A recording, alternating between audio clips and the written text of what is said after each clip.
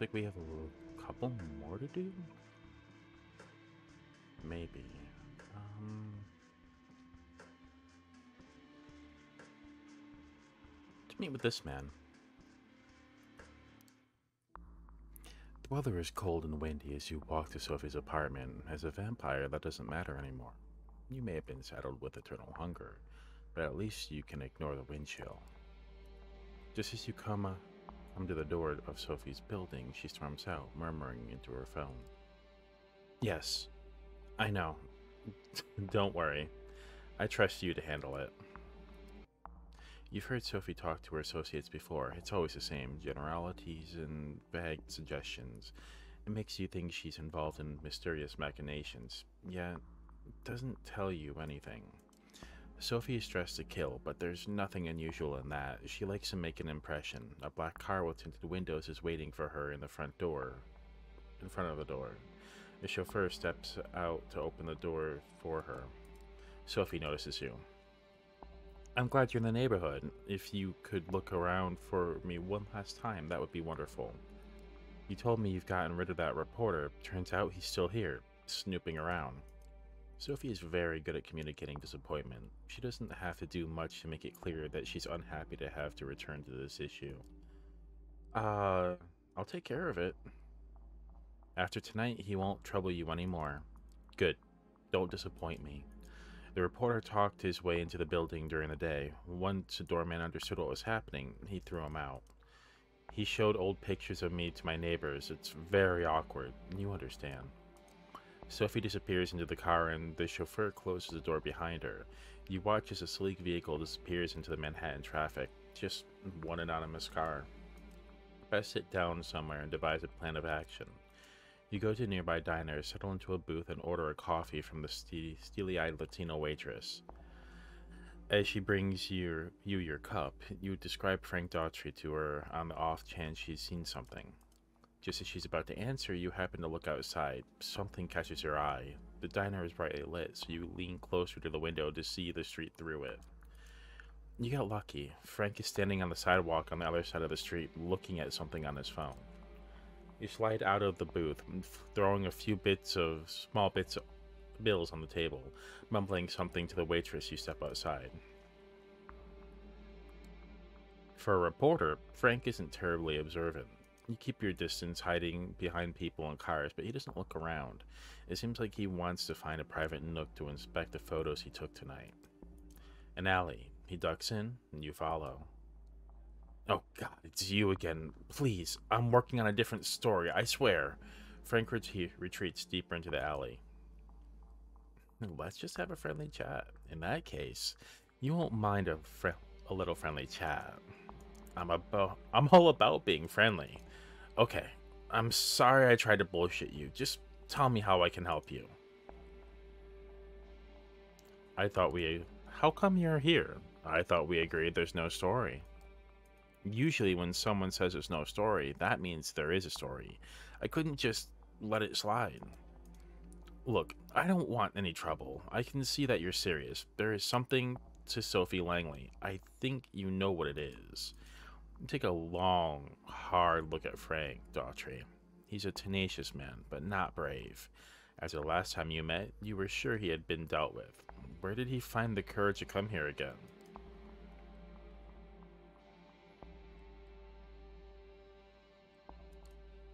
I like you, Frank. You don't give up. What's your real angle here? Everybody plays an angle. That's one of the things you learn in my profession. You're smart. You know there will be others after me. If there's any if there's a real story, they will come and find it. Your best shot is with a friendly reporter, someone you can trust, someone like me. no. So what do you say? Get ahead of the story. It'll be good for you and Miss Langley, too. You must believe it, but something about Frank feels off.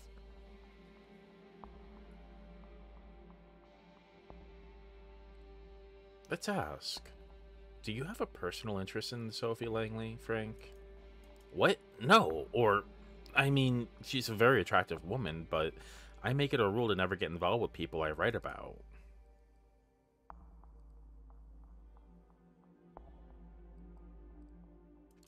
You're known for your professional ethics, Frank.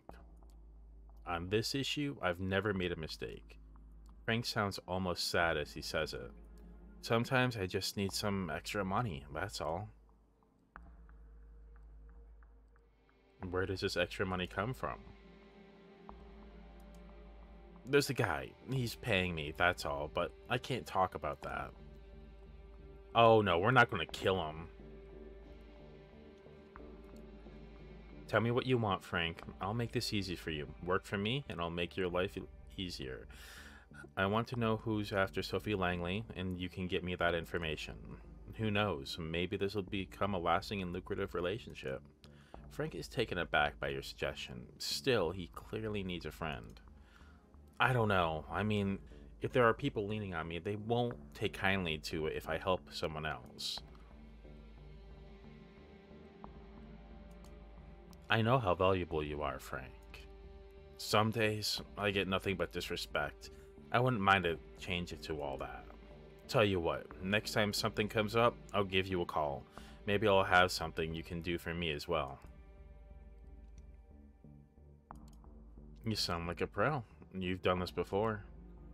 I am a pro. Frank hesitates for a second, as if he's going to say something more.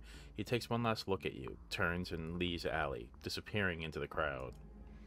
You're left wondering whether that was a good choice. Frank is not reliable, that much is clear. But, her, but perhaps you can benefit from this um, from him some way. Isn't that what the kindred do? Play people and turn them into puppets? I mean, not wrong, and I didn't want to have to kill him. I don't want to have to kill people. I guess we'll go talk to Benoit about God. That sounds wonderful. You started to look at churches differently since your last encounter with Benoit. You're not sure what happened inside, but it was uh, unavoidably real. You felt it. Benoit mentioned that being in the presence of Father Anthony's faith would eventually kill someone like you, an undead being. You believed him. It doesn't seem to be very common, though. In New York, you pass thousands of people every night, and none of them have made you feel so afraid and insignificant. If you were to encounter someone like Father Anthony in the subway or night or a nightclub, you would know. There are many churches in the five boroughs, and you're pretty sure most of them don't contain someone whose faith can touch you in this way. Yet, you become wary. They just might. Still, tonight the cathedral looks as before, a striking landmark acting as a symbol of faith for people who have no idea that vampires exist in their midst. For them, questions of faith and myth are theoretical and philosophical. For you, those same questions suddenly define the meaning of your new existence. You sneak into the cathedral like an old hand, as if going to church had been a regular part of your life.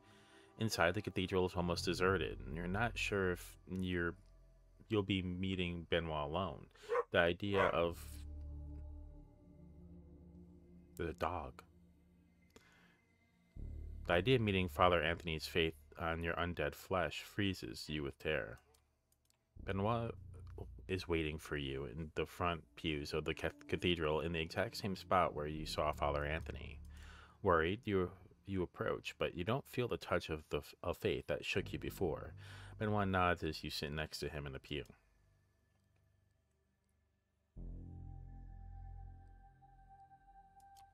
Aren't you worried about meeting here? What if your friend, the priest, returns? Don't worry, he's not here tonight. You've had some time to think. I'm guessing you found the touch of Father Anthony's faith hard to ignore. For most people, God's presence is a question of faith. When I talk to Father Anthony, it feels like proof. Benoit is fervent, intense as he speaks. It's clear these questions have consumed his existence. Perhaps they'll consume yours too. Uh, what does the Camarilla believe? What do the kindred of the Camarilla believe? The old ones. It's true that elders are not always so good at teaching their chil- children. Maybe the Camarilla would function better if we all knew these stories. Benoit looks around reflexively to make sure nobody's listening. There are only a few people in the enormous cathedral, and they don't seem to be interested in the two loners murmuring to each other in the front pew. It might seem like an it might seem like ancient history, things that happened thousands of years ago, but time works differently for our kind. If the stories are true, there are Methuselahs still in existence who walked the earth when Jesus was alive. The only problem is that old vampires lie. They adjust history to suit their egos. Sounds familiar.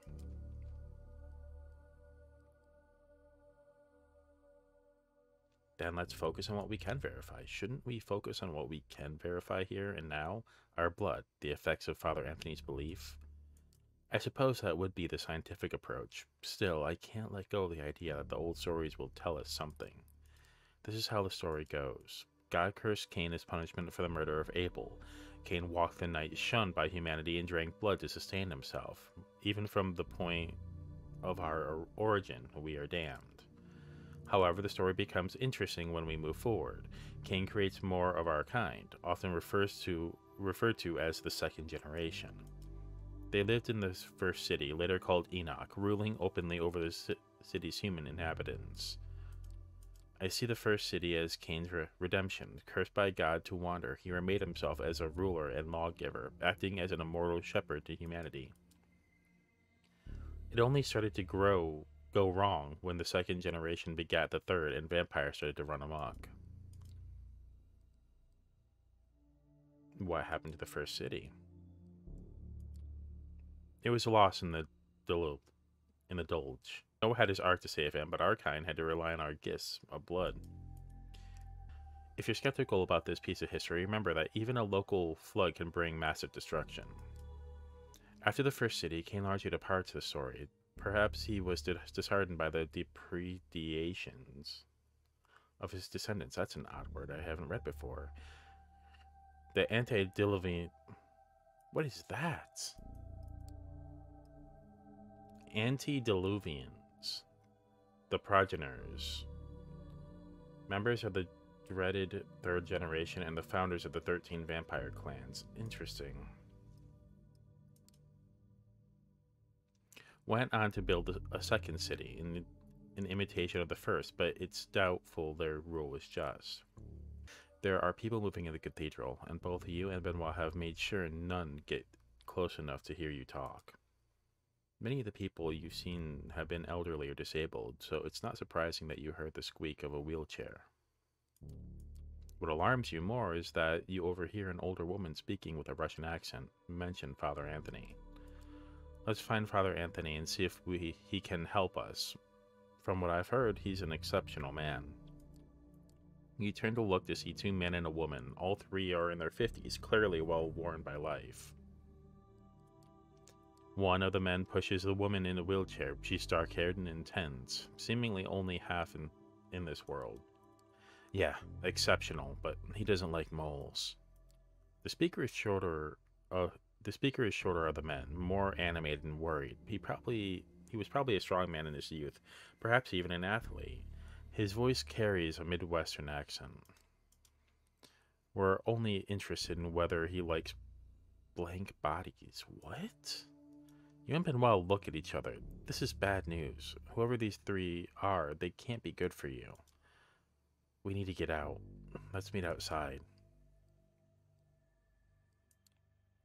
Better not call attention to yourself. You decide to move to the side of the cathedral and pretend to pray at an altar. You walk casually towards the side away from the three approaching mortals. You feel their eyes boring into your back, but force yourself to be cool. Benoit is nowhere to be seen. You blinked and he disappeared in a burst of speed. You worried it was too conspicuous, but maybe the mortals missed it. You pretend to admire the architecture for a while before glancing back at the trio.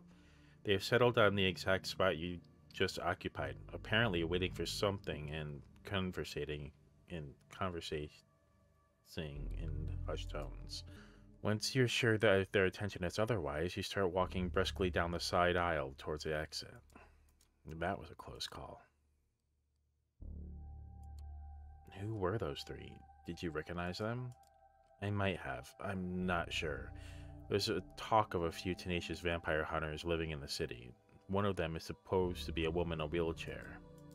For a second, Benoit looks at you as if he was wondering whether he should say something. There's one thing I've always wondered about the story of Cain. The traditions of the Camarilla put up a lot of faith in the relationship between sire and child. You're supposed to follow the example of your maker, yet Cain didn't really seem to care for the vampires he embraced. Did he think it was a mistake to build, or did he think it was a mistake to create our kind? I mean, my sire left me. Is that common among the kindred? Yes, unfortunately, the kindred are selfish and cruel. You know, I'm Sophie's child, and you're her pro- prodigy.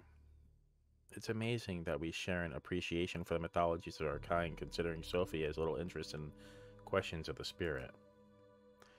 That's how we're connected. You stare at Benoit, you knew there was something he wasn't telling you, but in all the talk about Cain and the first city, you forgot about it. Now the only question is, what does this mean? Does Sophie know her child is talking to you? Probably not. Don't hold it against me, but I admit finding some pleasure in seeing you suffer the effects of Father Anthony's face. faith. I suppose that's the demon in me. that's not cool, man. Fuck you. That was not okay. Don't do that again, and I'll make do that again, and I'll make sure you regret it. You'll get over it. You know, we should meet again. We've talked so much about myth, but maybe that's cowardly that when the reality of faith is right in front of us. I'll introduce you to Father Anthony. No. you not unsure whether that's a good idea. Benoit walks away and you follow his example, not wanting to hang around the cathedral any longer. I don't want I don't want to have to do that. I need to rest.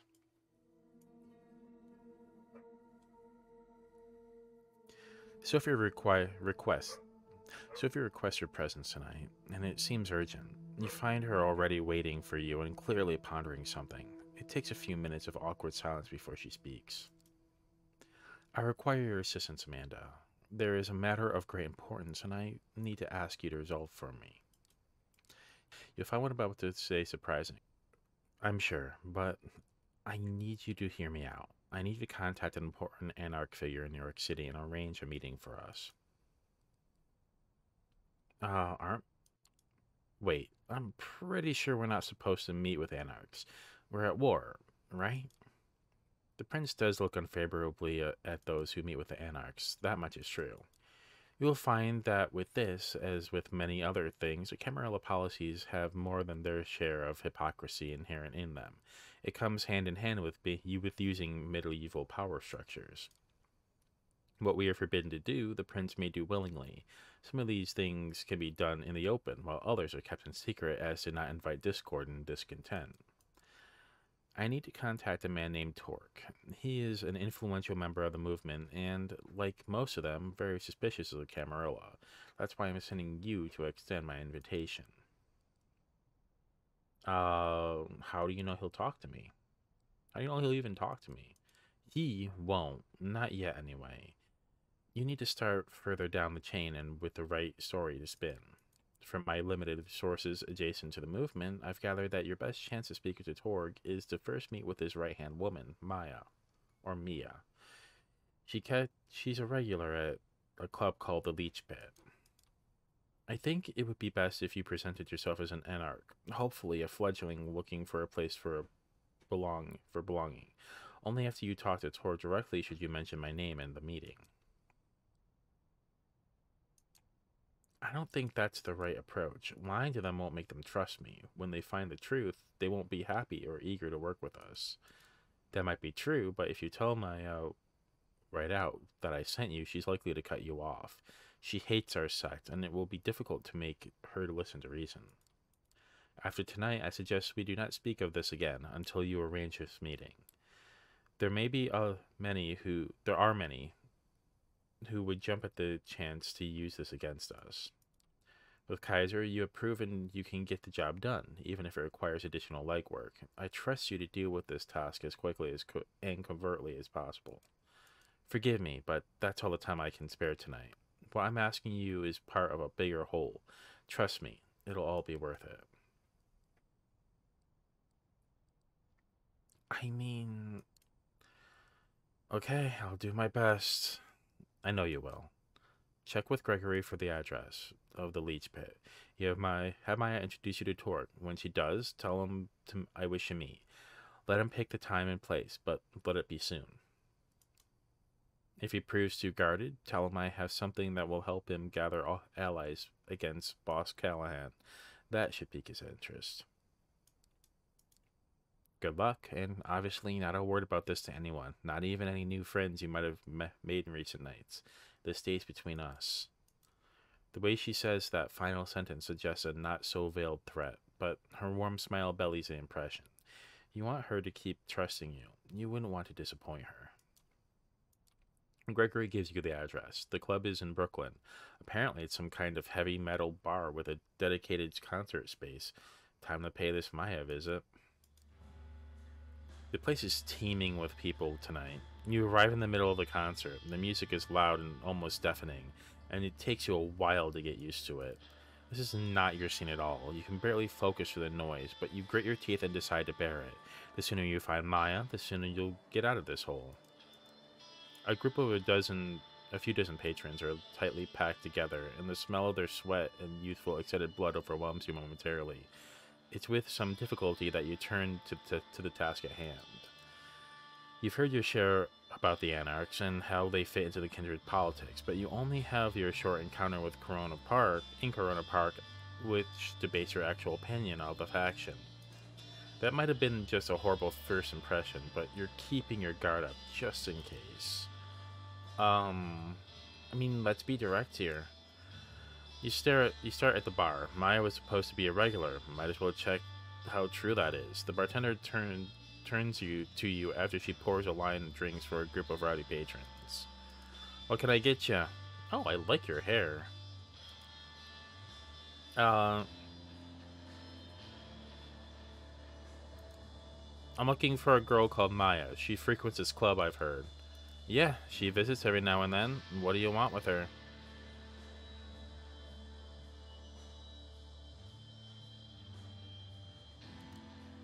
I just wanted to meet her. She's kind of a local legend. Yeah, ain't that the truth? Have a seat somewhere. I'll send her your way if you if I see her. You find a table to yourself after the group you saw order the drinks before clears out, and keep observing the scene at the bar. About 20 minutes pass before a woman approaches you. She's lanky, wearing a jacket a few sizes too big for her frame. It's clear she's got an attitude. She sits across from you without question. Carol tells me you wanted to talk to me. Follow me behind the bar. She leads you through the bar to a back door that leads to the side room. Indie metal band posters and pla- are plastered on every wall. Some of them are 20 or more years old, judging from the tour dates. An old sticky table and some rickety chairs are the only pieces of furniture here. Sit down. Sure. You take a seat as a woman leans against one of the walls. The name's Maya. I'm guessing you visit here. Your visit here isn't a happy coincidence. I don't know you, so you're either new in New York or kept an outstandingly low profile. Both sound suspect. So before you retake these pleasantries further, answer me this. Who do you run with?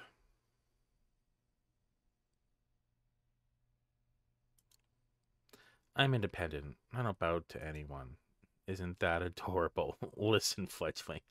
You don't get to be this flesh in the game and not pick a side. Those in Second Inquisition fucks are all too happy to pick and on delusional kids like you.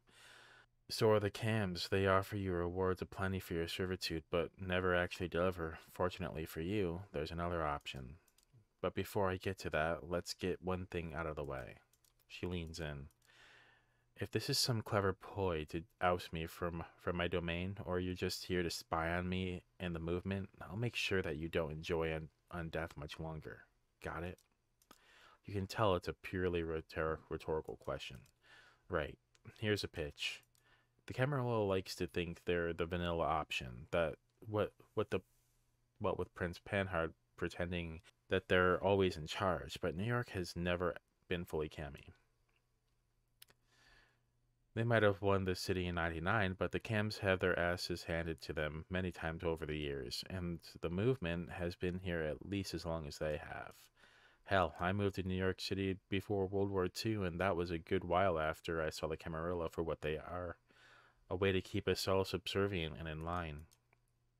The Ivory Tower will tell you they're the only safeguard for the traditions, and that kind of and that's kind of the problem. There's only one tradition we in the movement feel should be respected the masquerade, obviously. Dog's back. Everything else, ask the prince, and she'll tell you it's the logical continuation of the masquerade, but really it's a way to keep the elders powerful and in control. But here's the thing for all the talk of us bloodsuckers being solitary creatures, we need a community to keep up the masquerade commu- community, yes, but authority, not so much.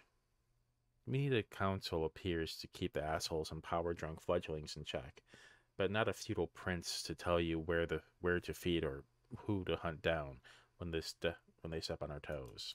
She takes a brief break from her indignant rant.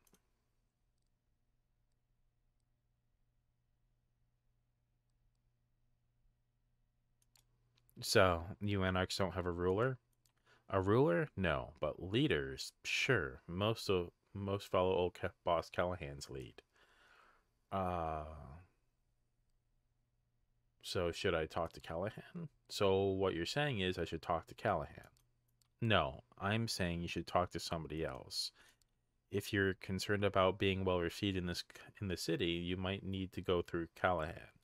But if you're serious about the Anarch cause itself, he's not your guy. Callahan eats up fledglings like you and shits out self preservation. His position as Baron is mighty shaky now, not least due to the fact he's backstabbed more than his fair share of allies.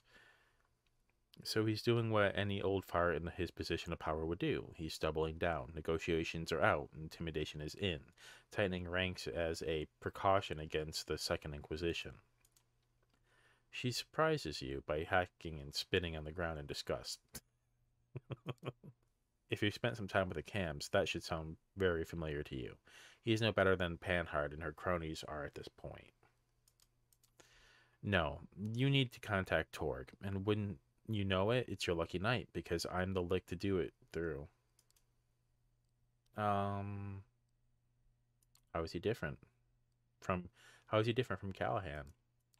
Motherfucker, you're really asking for it. Her anger flares up again. I'll pretend that was just a naive question and not a half-assed jab. Torque is a leader, a local baron who's overseeing a small domain, but doing a very good job of it. Callahan knows this, so he's giving him shit. Tori is taking it like a champ. He's he's smart like that. For one of us rebels, he's got the patience of a saint. Makes you think back to how things used to be way back when, if the stories are to be believed anyway. If you you want to meet him, you I'm going to require a show of goodwill first. What do you have in mind? That's fair. What do you have in mind? She flashes you a mischievous half smile.